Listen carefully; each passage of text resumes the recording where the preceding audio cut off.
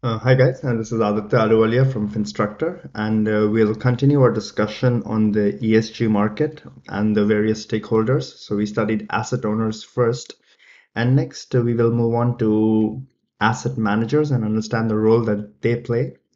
So asset managers essentially select the securities and create a portfolio for the asset owners. And of course, they will influence the ESG characteristics of the portfolio by choosing which companies they decide to invest in and also engaging with the investing investee companies so as to improve the ESG performance or make sure making sure that the companies uh, are moving towards the goals of sustainability. So generally they will react to the asset owners preferences and interests in ESG but they can also play a key role in proposing newer products and newer approaches of considering and incorporating ESG into the security selection and uh, other processes. So asset managers are considered to be central in the investment value chain. Now, these offerings generally originally began with active listed equities, but recently uh, have evolved to many other classes. The knowledge that was gained from equity valuation was then transferred to fixed income investments, and um, note that fixed income securities are issued by non-corporates also. So it's not just companies, but even governments, municipalities, supranational institutions like the World Bank also issue bonds. So analysis of these uh, institutions, these governments from an ESG perspective also started getting incorporated along with fixed income. Um, and then uh, over the past 10 years, we've seen the rise of green bonds, uh, that is investment in bonds of companies that are uh, towards um, uh, sustainable production or renewable energy, etc., uh, has further propelled fixed income as an asset class uh, of interest for responsible investors. infrastructure, real estate, private equity have been a bit slow, but also are catching up, especially in impact investing funds. And uh, more and more, we are seeing that uh, we are having indices and passive funds um, with ESG integration uh, uh that are uh, available. And this came 20 years after the active um, in investment management industry incorporated ESG. But nonetheless, we have indices today that track or that are ESG focused or that can help invest passively in companies that score well on ESG. So there are over 1,000 ESG indices and um, ESG factors we know have also been successfully integrated into factor investing, smart beta funds, and derivatives, reflecting that even um, complex products are seeing penetration of ESG factors and, and ESG investing. Uh, so um, asset managers play a critical role as we've discussed, and we particularly note that asset managers who, will, who, who wish to differentiate themselves are offering significant uh, enhancements in ESG related resources.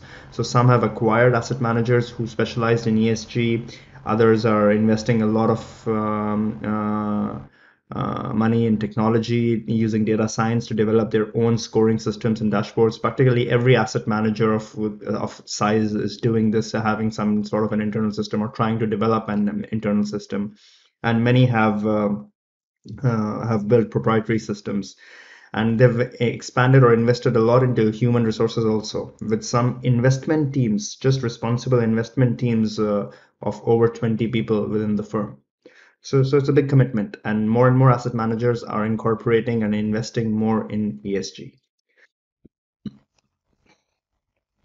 Some of the challenges faced by asset managers in integrating ESG include first a lack of clear signals from the asset owners that they are interested in ESG. So the asset, asset owners don't mandate it, asset managers may not follow ESG because their first job is to follow the mandate given to them by the asset owners who are the eventual owners of the investments. Uh, secondly, similar is, is, is the issue that there's a narrow interpretation of investment objectives. So risk and return is defined in very financial metrics and does not often include climate or sustainability or impact or ESG factors. So if the investment objective is just risk and return, or and if it's over a one-year period or two-year period, then again, um, asset managers may not be able to incorporate ESG factors, which will show up in the long-run performance or which are more longer term. So again, the narrow interpretation of risk and return or investment objectives by the consultants uh, on, on, the asset owners is another issue. And finally, there are resource challenges. Uh, again, oftentimes ESG investing is seen as a separate from the other investing that the firm is doing or the other products that they have. So then they need a separate marketing or separate compliance department and separate investments in the tools and research and resources for ESG investing, which um, will be additional cost, especially if ESG is not entirely integrated into the firm. So yeah, these are some of the challenges which are being overcome, and ESG is increasingly being incorporated into the processes of the asset managers. Uh, the next um, class of stakeholders that we will study are the fund promoters, another important class, and these are investment consultants, investment platforms, and fund laborer, uh, labeler, labelers that uh, we will talk, to, talk about. So first is investment consultants and retail financial advisors. Now, ensuring that these consultants and advisors incorporate ESG into their service or into their core service provision is, is, is very important. So these groups are considered as the gatekeepers for the expansion of ESG investing as they will advise the asset owners and individual investors who will oftentimes accept their advice with little hesitation. So of course the aim is that these consultants and advisors very well understand the implications of ESG on long-term investment performance and um, the requirement of uh, incorporating ESG and the benefits of incorporating ESG. And uh, recent reviews have found that most consultants are failing to do this and they're failing to consider ESG in their investment practice. And one of the issues is, again, uh, as the issue we discussed with the challenges faced by asset managers, that um, the interpretation of investment objectives is very narrow. So they're again looking at risk and return over a shorter term, or, or, or it's just financially defined their metrics. So hence uh, they're not able to incorporate ESG or they're not uh, really able to advise on ESG. So again, they also perceive that there's a lack of appetite uh, by the asset owners. So asset owners who are the retail individual uh, investors or could be uh, institutional clients of these advisors, um, the, the advisors feel that there is not enough appetite. So again, they're not really advising them a lot on um, ESG issues at the moment. So this is uh, one of the challenges that we're seeing. But again, it's very important to make sure that uh, advisors and uh, consultants understand ESG and start advising actively on ESG issues. And there's a lot that the advisors can do. So uh, they can uh, aid the asset owners or the trustees in understanding their fiduciary obligations.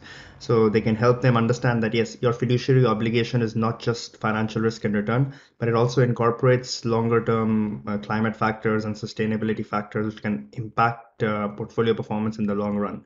So uh, ESG to incorporate or ESG consideration is a fiduciary duty advisors or consultants can make the um, uh, uh, asset owners or trustees aware of this uh, responsibility.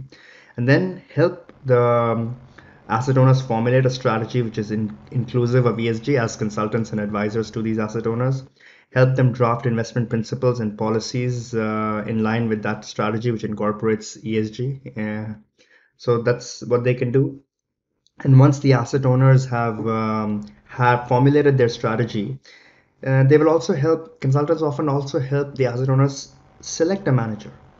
So in their manager selection role, again, the consultants can help the owners design a proposal and formulate a mandate that integrates investment beliefs on ESG as well as expectations on the implementation of ESG from the asset manager.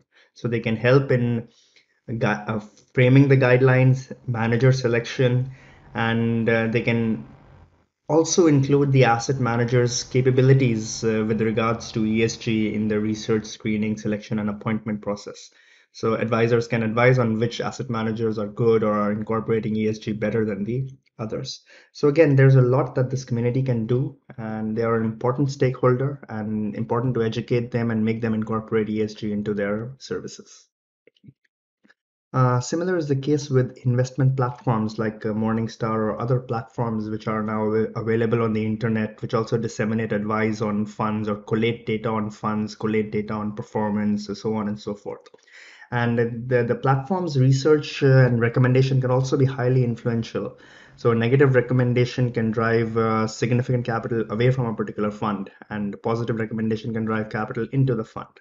So again, uh, more and more platforms have started integrated started integrating or, or started providing ESG ratings uh, within their um, services, and um, they can also do a lot like the advisors. They can increase awareness of ESG funds to both retail and institutional investors, and they can help enable easier identification of and the information of these funds. So a lot of times uh, we as individual investors or even institutional investors may not know what choices are available on from an ESG perspective and what exactly are fund managers doing on an ESG perspective. So platforms can help collate all this data and uh, uh, it'll make it easier for asset owners and investors to choose from various ESG platforms. So again, an important stakeholder uh, like consultants, investment platforms. And uh, finally, the third service provider is the fund label labeler. So labels are providing benchmarks and quality guarantees for both practitioners and clients. So if a fund is labeled as scoring good on ESG or good ESG fund or green fund or you know climate uh, sustainability fund then that'll uh, if your fund is rated as a ESG compliant fund then that'll be good for your fund and vice versa so again fund labelers should do a good quality job in ensuring that uh, the labels are actually or, or the performance or the processes are actually matching the labels that they're giving to the various funds so again, um, at the moment, uh, multiple countries uh, don't have a similar label, so we are not able to apply it across jurisdictions. But again, uh, these certifications are becoming more and more important, and more and more funds want to get these labels or certifications. And a lot of times, uh, there has been criticism that these are just marketing tools, whereas actual investments are deviating from these stated purposes, or they're not really following these labels. But uh, again, um, uh, more and more or more stringent uh, uh, sort of implementation of these labels or, or certifications or, or, will, will, will be good quality guarantees and hence will give people more confidence to invest in their ESG funds knowing that these funds are actually doing what uh, they are stating to or what they are claiming to. So yeah, so that's about the fund services.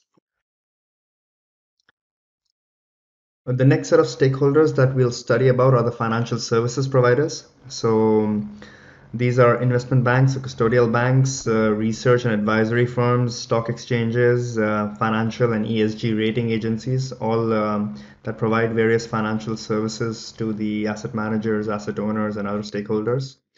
Now, they play a very important uh, role in the ESG ecosystem as uh, they can provide high quality information uh, about the ESG characteristics uh, and do other services also which can promote the ESG. So investment banks, for instance, can support companies issuing a green bond, a bond where the proceeds are invested in climate and environmental projects. Sell-side analysts and rating agencies can incorporate ESG within their analysis and provide information on the ESG disclosures uh, and also give recommendations and ratings uh, based on these disclosures. Stock exchanges can increase the requirements on disclosure, so we have more information available. And we have more ESG data, especially by the listed companies that are listed on the stock exchanges, as is encouraged by the Sustainable Stock Exchange Initiative.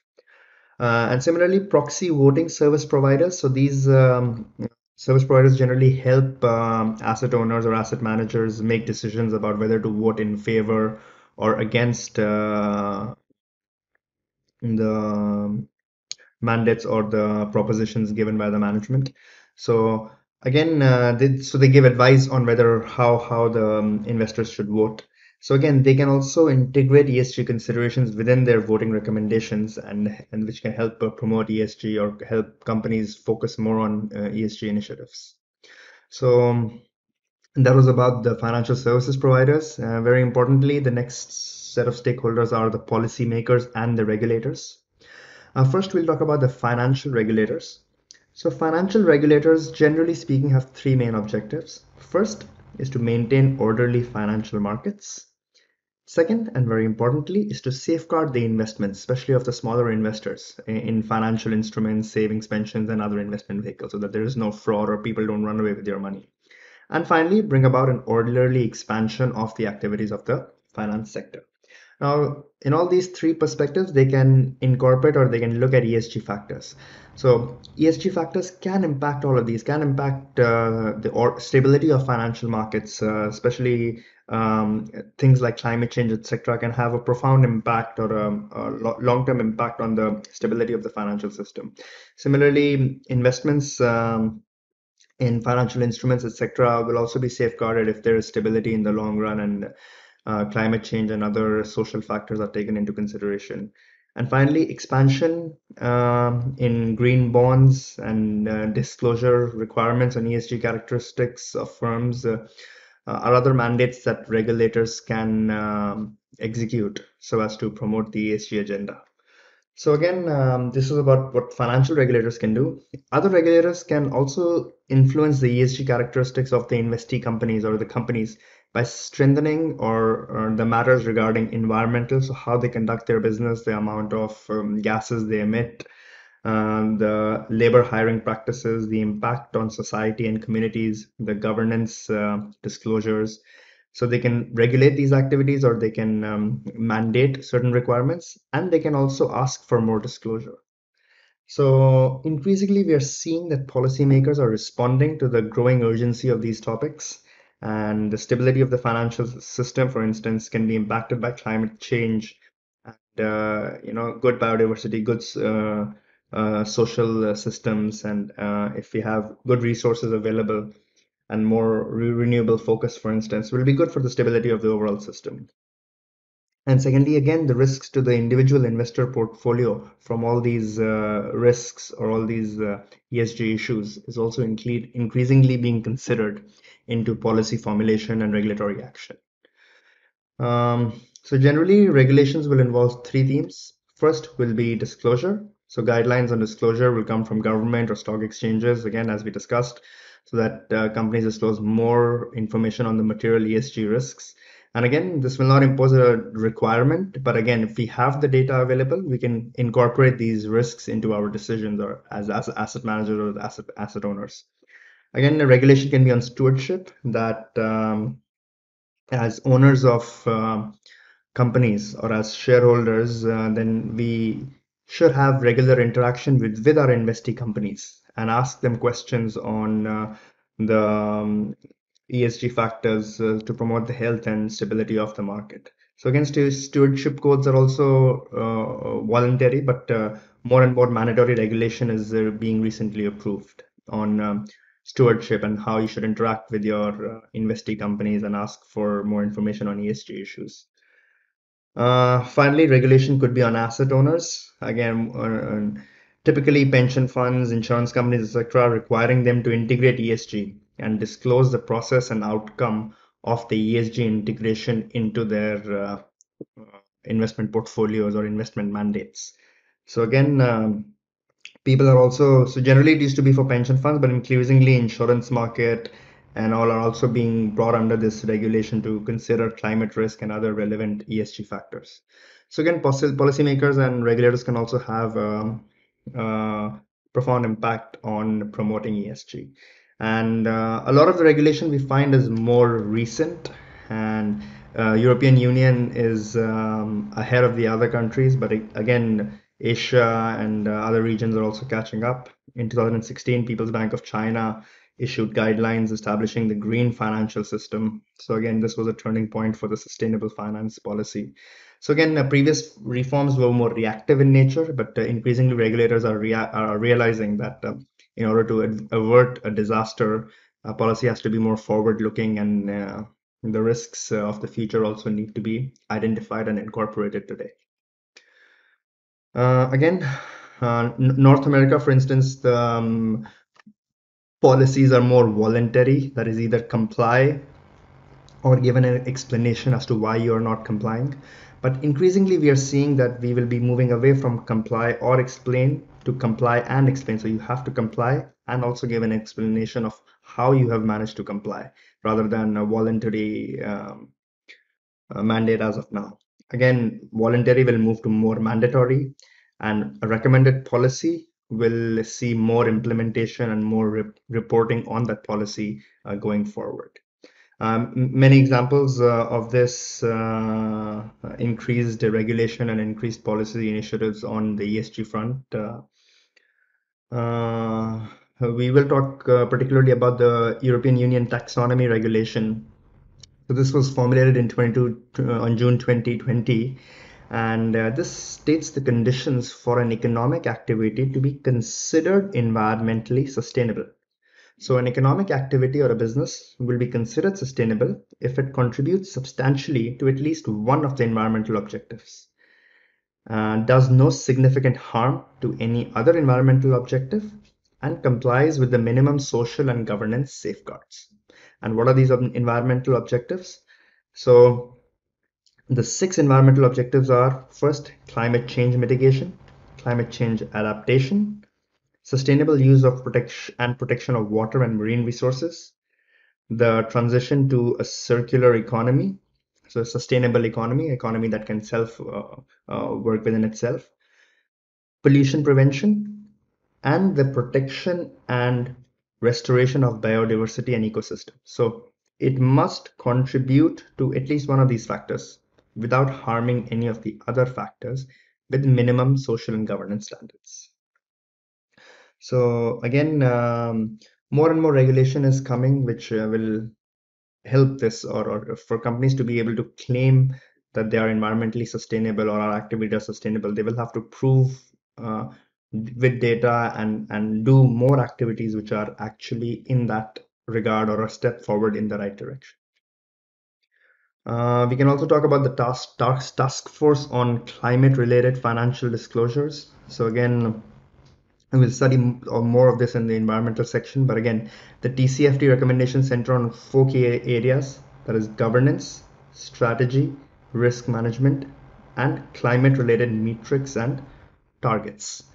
So again, um, uh, the recommendations are that firms should disclose information and support capital allocation on these or along these climate related areas.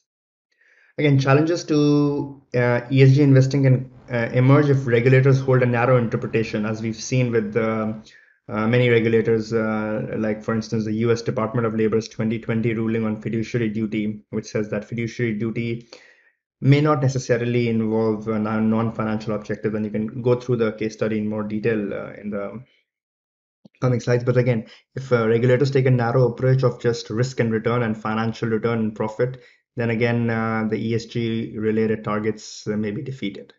So yeah, that's something uh, that is a challenge that we need to be aware of. But more and more regulators are recognizing the importance of ESG to financial stability and including that in their regulation. So yeah, we can go through some of the case studies. Uh, US, UK, again um, on fiduciary duties uh, European Union, which is making it more mandatory as against the US and the UK. And even China, which is uh, increasing more guidelines on green investments, as we as we discussed. The next relevant stakeholders are the investees or the investee companies themselves. So actually these includes not just companies, but all entities in which investments can be made. So these can be the corporates or the companies that um, you lend to or you buy equity of uh, or you uh, or you become a shareholder of. So the investee companies in which you're investing there could be projects such as infrastructure projects or joint ventures. Could even be agencies for instance the world bank international finance and finance corporations who also raise uh, debt and uh, uh other instruments uh, who also raise money so you can invest in these agencies and you can invest in sovereign bonds or you can invest in countries municipalities uh, and other jurisdictions as well. So investees are the companies wherein you invest and they are required to disclose and focus on esg issues. So the executives of these entities influence how they manage esg risks and the impact that their business activities have on the environment and society. So they decide on the level of disclosure of the esg factors to existing as well as potential investors. So again, one of the most pressing issues uh, that we will discuss and we have discussed is a lack of information and uh, lack of reliable information. So again, uh, if they report uh, honestly and thoroughly on ESG factors, then again, um, this issue can be addressed and we will have better information available to invest in these companies. So investees are definitely very important stakeholders in the ESG investing uh, market. Uh, next, we move on to the government. So again, now we're not talking about um, uh, government per se, but we're saying how the governments think of ESG investing or how the governments realize that the investment industry can can can play a very important role in the uh, in sustainable investments or in achieving positive outcomes for the society. So what the government now realizes is that the investment industry is very necessary to drive this ESG agenda and to drive this change. That's why we have this course on ESG investing. So social security systems and public pensions, which are funded by the government, are in predicament in many countries. So the governments know that they may not be able to pay the pensions themselves. So the citizens are increasingly turning to these corporates or private investments and private pension plans for financial stability. So these private pension plans have a lot of money, and hence this money should be invested in a responsible manner and in a sustainable manner or towards driving a sustainable economy. So many countries uh, need to build or restore re restore public infrastructure because public infrastructure is getting old. It was uh, set up decades ago, in many cases even more than a century ago. So governments alone cannot fund this. So they will need private investments and and um, responsible investing to rebuild this infrastructure and do it in a sustainable manner. Governments have also recognized that a transition to a low carbon economy will require significant shifts in capital. So we will have new investments in renewable new investments in technology new investments um, uh, uh, which will require capital. So again responsible the investment industry is needed. And again if the investment industry considers uh, ESG and social and environmental impact of their investments, then again, it will help advance these priorities or uh, advance these uh, ESG priorities. So that's um, what the government has uh, realized uh, from an ESG perspective. And finally, and very importantly, the civil society and the academy have also played a very important role in developing the ESG ecosystem. So civil society, including NGOs, um, are increasing uh, requirements or demanding more sustainability at a company level and they're demanding more transparency and consideration around the impact that the investment is having on society and the environment. So again these ngos partner with investment firms they're partnering with regulators to improve understanding of esg matters and a lot of them are helping to bring into to light actions that are are, are insufficient to address the global challenges. Or many a times people are claiming to be esg compliant and they're doing things like greenwashing. So they're getting a label of uh, an esg compliant fund but they're not actually investing in a responsible manner or they're actually not focusing on uh, what they claim to be doing. So again uh, ngos and all they, they they sometimes help bring to light these issues. And academic research similarly has been very influential in, uh, in, in validating the business case for integrating ESG. So more and more research has shown that integrating ESG has actually been profitable and companies that are performing well on ESG metrics have better stock price performance and and portfolios would have done better if if they had focused on properly in integrating ESG analysis. So again, this academia and uh, these studies are uh, very important in uh, promoting and growing ESG considerations. Uh, so that's about the second review on the ESG market, and uh, we'll wind up by solving some more questions. Uh, so thanks a lot, and uh, see you next time.